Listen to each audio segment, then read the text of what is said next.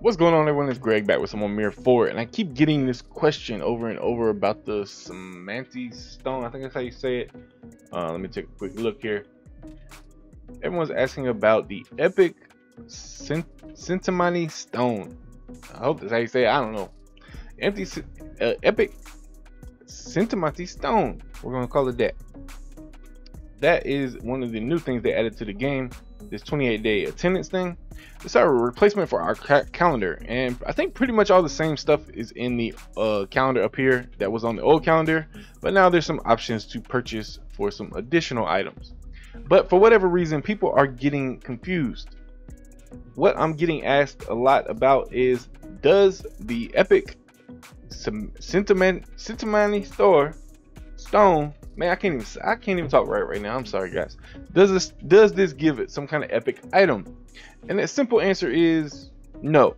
I mean, nothing that you can't see on the screen. So it let's let's look at it a little bit more. All these things are these two items here were purchased. They're just passes. Just like the the the mission scroll where you activate these things, all you're doing is activating these. Well, mine says activate because it is activated. Um, this one they say purchase when you haven't bought it yet.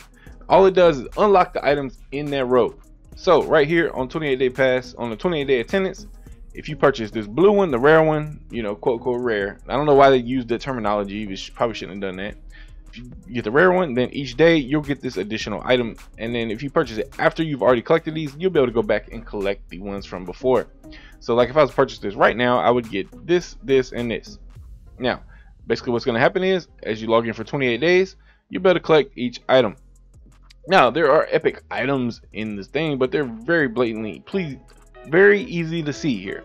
So with our standard calendar, we're still getting our uh, our sealed magic stone box at the end of the month. If you purchase the rare one, you'll get a rare sealed magic stone box. If you purchase the epic one, you'll get an epic sealed magic stone box.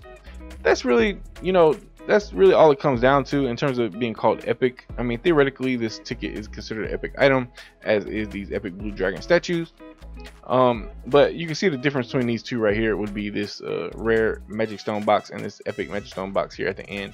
Nothing special. You're not getting an epic spirit. You're not getting anything, you know, anything amazing from here. All it is is simply unlocking this pass.